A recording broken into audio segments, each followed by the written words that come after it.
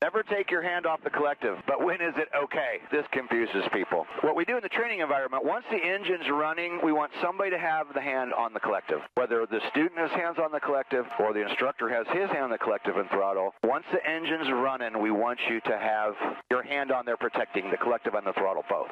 During the startup, on the ground, picking up, hovering, don't take your hand off the collective.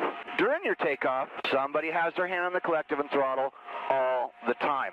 Now, once you get up to altitude and you have safe altitude above the ground and you're getting your cruise flight, on some helicopters it's acceptable take your hand off the collective and you might be able to use collective friction, maybe not, depending on the aircraft. But at that point in stable flight, yes, you can. I mean, I'm going to use an example here in the 269. If I'm in stable flight, I could take my left hand off the collective, put it on the cyclic, use my right hand, do what I got to do with radios or whatever, and then go back, right hand back to cyclic, left hand back to collective. A student comes from somewhere else and they start up, engines running, and they're taking the hand off the collective all the time. In the training environment, this is how we want to do it. We want somebody to have their hand on the collective all the time. And examiners, all of them that I've been using forever, and the ones I did my check rides with, they all expect this. They expect somebody's hand on the collective and throttle the whole time the engine's running, during all the hovering on the ground. And somebody needs to be guarding that collective. Of course, operating procedure at some flight school or some company somewhere could vary and be different. This is the statement we're using for HOGS training, training that we do here. There's your tip for today. We thought we'd just do this real quick while we're doing a startup. Any membership on the site,